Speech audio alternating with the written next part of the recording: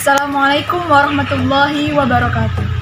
Hello everyone, my name is Naila Istiana and I am from MTSN Sri Pacitan. Let's watch my speech. Assalamualaikum warahmatullahi wabarakatuh. Assalatu wassalamu ala asrafil anbiya'i wal mursalin wa ala alihi wa ashabihi ajma'in amma ba'du. Hello to the honorable jury of this English speech contest, the honorable MTS Committee of Sports and Arts, the participants of this English speech contest, and to the audience. Firstly, all praise goes to our God, the Almighty Allah Subhanahu wa Ta'ala, who gives us unlimited blessings, joy, health, opportunity, and a long life. So that at this occasion I can stand in front of you all. Ladies and gentlemen, allow me to introduce myself. My name is Naila, and I am the representative of MTSN 3 Pacitan. And today, at this golden opportunity, I would like to deliver a speech about the role of madrasas in producing the nation's spiritual leaders. Indonesia is one of the greatest nations in the world, consisting of five big islands, 17,500 tiny islands, and socio-cultural diversity. Various cultures have been produced from the daily lives of diverse Indonesians, and various tribes are scattered from Sabang to Merauke in this country. Indonesia has numerous ethnic groups, religions, languages, economics, and politics. Yet, the diversity does not make Indonesia split up from one another, but instead unite.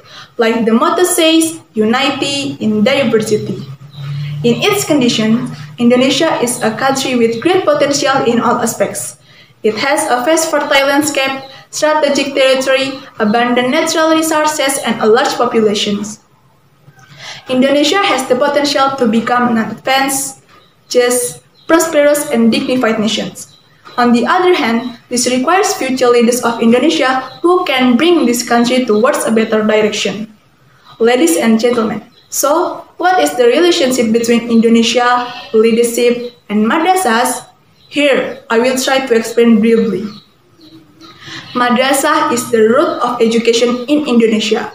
Madrasah has produced many leaders in the field of education, religion, statesmen, and even heroes. So it cannot be denied the role madrasa has in the contribution to the character of the nation, such as Wahid Hashim, Hamka, Hashim Asy'ari, Mahfud MD, and our fourth president Abdurrahman Wahid. It proves that madrasa is not an educational institution which teach the students only Islamic lessons but also knowledge needed to build a leader's character. There are some reasons why madrasah became the best place to create the next national leader. First, as institution of Islamic education, madrasah teach religious knowledge as well as other curriculum set by the government. It means that lessons taught in school are also taught in madrasah. So, the madrasah provide the students not only competence in religion, but also in science and technology. Secondly, madrasah teach national awareness and love of country. Usually we hear hubbul watan minal iman. That means loving the country is a part of faith. This awareness is very important when our country is facing issues triggered by economic problems, different political views, even terrorism and radicalism. Muslim youths who love their country of course are able to sacrifice and struggle for their country because they realize that their struggle in the name of Islam and country is worship and the price is given. Third, madrasah creates students with the best character to be a good leader. Character or akhlak is one of the most important to madrasas.